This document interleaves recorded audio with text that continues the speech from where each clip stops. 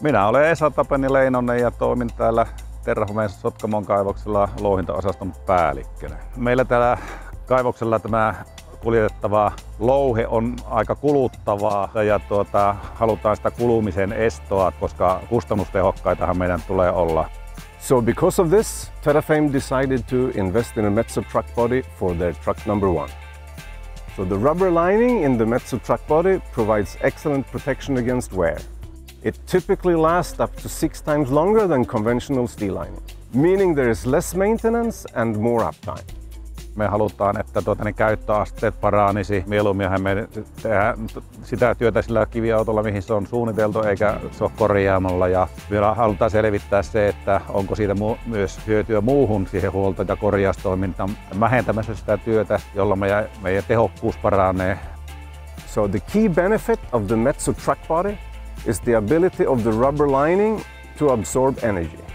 So because of this, the Metso truck body is much lighter than a conventional truck body. This means it can carry more payload, improving the efficiency of the hauling.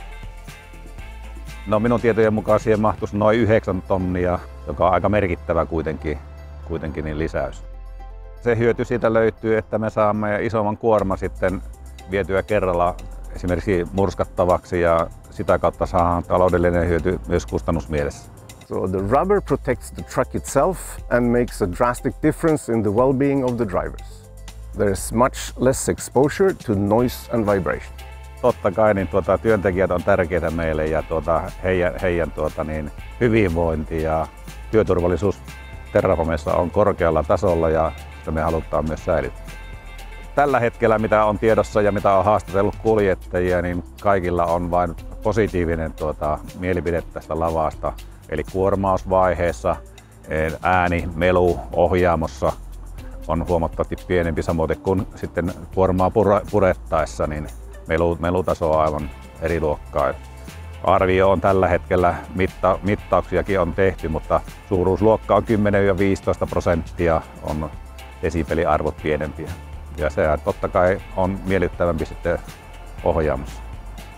Kierroksia tulee 30-40 vuoron aikana. Eli perinteisellä lavalla ajettaessa niin siinä tulee jonkun verran meteliä hyttään, että kuuluu lastatessa ja kipatessa kyllä kivien kolinat. No, erittäin positiivisia kokemuksia on Metsola vastaan, että hyvin hiljainen oli kuljetuksessa että lastauksessa.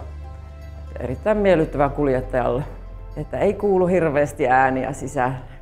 No meillä on hyvä, hyvä tsemppi täällä kaivoksella koko ajan päällä ja tota, ei ole näköpiirissä mitään esteitä, etteikö olisi jatkossakin. Ja totta kai kalustoa kehitetään ja näin poispäin. Ja mikäli tämä lava osoittautuu niin kuin meille kustannustehokkaaksi, niin ei ole mitään esteitä sille, etteikö me hankittaisi näitä lisää.